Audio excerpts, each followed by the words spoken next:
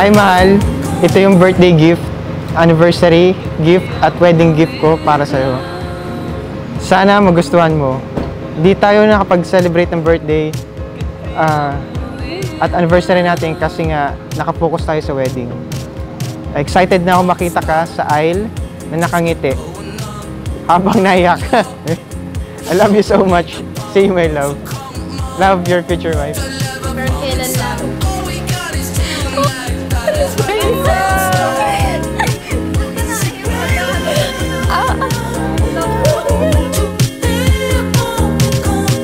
Ko aakalain na nagsimula ang storya natin sa mga Dare Games at flood likes sa mga post ko sa Facebook.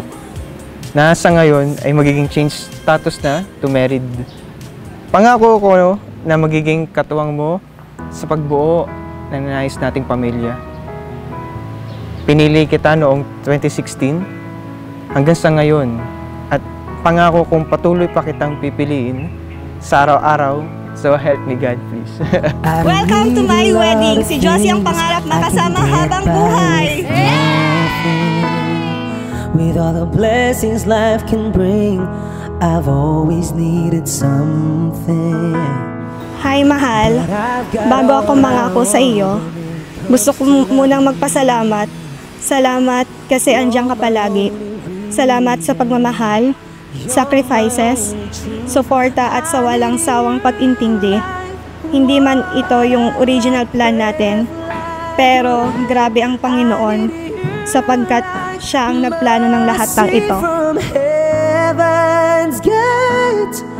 There's a freedom in your arms that carries me through. I need you. Pinapangako ko na isasama lagi kita sa mga plano ko. Naway tulungan at gabayan tayo ng Panginoon. Ah, bigyan ako ng mahabang pasensya at ma- maunawaing pag-iisip. Excited na ako simulan ang panibagong yugto ng ating buhay. Di ko akalain na mangyayari lahat ng ito. Kasi akala ko, wala nang lalaking magseseryoso pa sa akin. Pero ikaw ang bigay ng Panginoon, ikaw yung pinagdasal ko. Salamat kasi lahat ng bagay ay kaya mong gawin kahit nang alam kong mahirap para sa iyo, ginagawa mo para sa akin.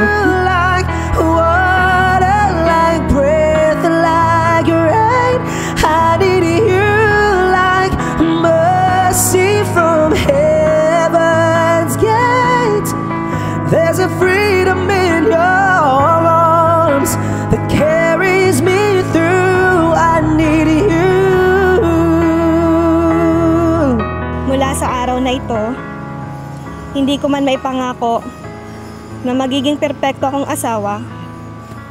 Pero ipapangako ko na magiging mabuti akong asawa.